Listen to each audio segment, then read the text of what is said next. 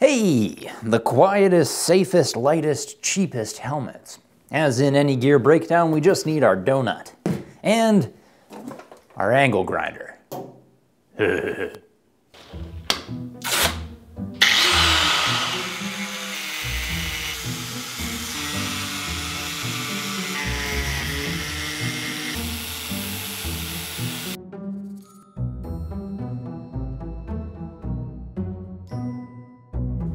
So the shell's job is the same as a youth pastor's prevent penetration. But also spread force across more of the foam, absorbing more impact. Up till the failure point, at which plastic helmets crack, resulting in a shittier spread than natural nut butter. While this fiberglass and carbon awry can be pushed to the crackling point. Huh, better spread. Yet Shoei's RF 1400 improves on all of them. It's their most elastic shell. Let's simplify our helmet as a hollow sphere, because a benevolent physicist always leaves the finicky work for engineers. So, long past the failing displacement of plastic or fiber, since this is elastic, we still get a perfectly flat surface at the point of impact. Maximal, flawless dispersion. And like the man with two penises says, you've only seen the half of it. What we just witnessed was the strain of impact being translated into perpendicular elastic strain. And to scientists, this relationship is known as the Poisson ratio, but to motorcyclists, it means that an elastic shell can be tuned to divert crash force by itself. And the RF 1400 eats impact even before it starts dispersing across the foam, which elastic shells happen to do flawlessly, as we know. Safest, Shoei, ever. But Tokyo, we have a problem.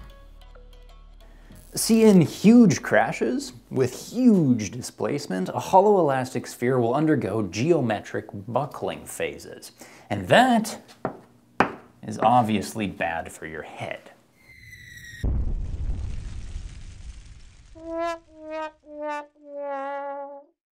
The trick to preventing buckling is to avoid discontinuities. Which is why this is Shoei's most continuous shell. All hand-woven, hand-chosen fiber. So even at the bends, and spoilers, the thickness stays exactly the same. Whew. If Isaac Newton needed a helmet, and he did, he'd choose this. Elasticity is huge for sound cancellation too. See, designing the quietest helmet in the world is easy. There, I've done it. But my creation has a truly fatal flaw in that you must cut your head off to use it. Hmm. It's these darn neck holes. And that's how the noise sneaks in. Shoei's elastic shell lets them get away with an unusually tight entry which must be stretched open. Even then, my ears are being sheared, but once sealed inside, it's as quiet as it is safe. Wow! Next layer is the slip plane. MIPS lets the padding move independently of the foam and shell, meaning your head can rotate up to 15 millimeters inside the helmet. So whatever whiplash happens out here doesn't all go to your brain. Hmm. Does that really help? Well, a lid with MIPS does allow less rotational acceleration than an identical lid without.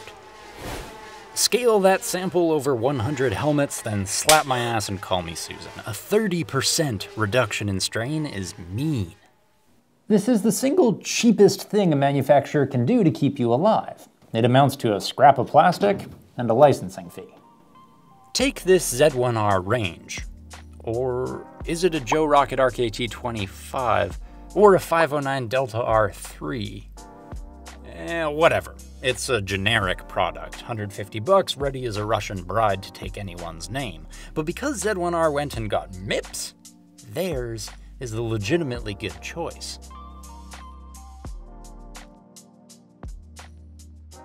Now, pads are the most overlooked safety layer. There is zero point in getting the rest right if these fit worse than Ja Rule's jeans. I guess not. It's a bigger problem than we realize because all pads loosen over time.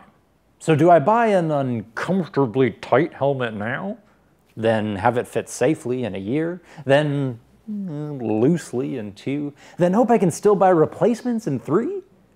That sucks. Only Scorpion was pissed enough to engineer a solution. You pump it up snug for each ride, making year three as safe as year one. This also lets me add a couple pumps on track. And pads are like puckering. There's a certain tautness that is uncomfortable at 100, but oddly comforting at 200. The Scorpion lets me find the difference. Apropos for this EXO R1 Air, which is the helmet Quartararo races in MotoGP. Well, technically Fabio has a small head, so only that size was sent to FIM's lab for homologation. But as near as makes no difference, yes, this is an FIM helmet that you and I can afford.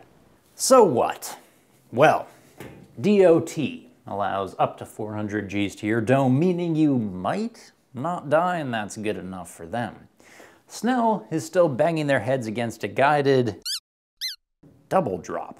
7.75 meters per second, less than 275 Gs on both impacts. The trouble is almost no one crashes like a pogo stick, so mostly this standard just requires overly rigid helmets that cause concussions in ordinary tumbles. ECE knows this, so they do a single unguided free fall. Hmm. Meaning translational impact requirements are a bit softer, but that lets them ask for rotational protection. Less than 10.4 kilorad per second squared peak angular acceleration, better than 0.78 on the BrIC test. Make no mistake, and these are two different ideas of safety. A helmet may pass ECE or Snell, but not often both. Current research suggests ECE has it right. Snell is at least righter than DOT. But FIM? FIM slays them all.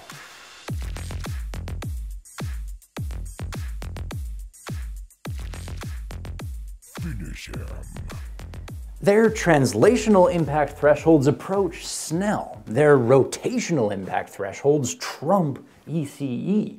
And there's almost no money in a standard like this because almost no helmets pass it.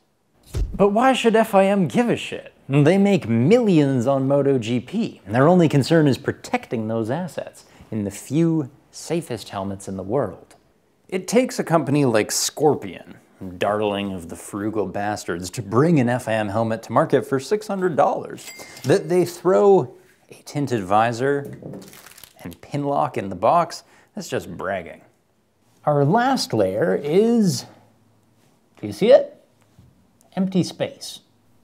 HJC's F70 does that best. It has an expansive field of view, such that the orb becomes a greenhouse without vampiric levels of sunshade. But on a cool day with the visor open, you'd swear you were wearing nothing at all. Only the weight ruined yesteryear's illusion. And fiberglass was a 1620 gram reminder of the helmet's presence. So for 2021, HJC offers it in carbon, saving 240 grams or the equivalent of a European ground squirrel sitting on your head. With feather weight, a picture window, and streamed lines, the F70 Carbon invokes Rolls Royce's three maxims of luxury light, space, and quietness. I'm fortunate to test a new helmet for each new day, and I curse that job because if I had the choice, I'd always take the rolls. It's the second cheapest too, after our Z1R range MIPS, slip plane safety on a budget. Then our Scorpion EXO R1 Air, puffable padding and an FIM rating. Then our Shoei RF 1400, whose shell is a stroke of elastic genius. Now we know what goes into the best helmets of 2021.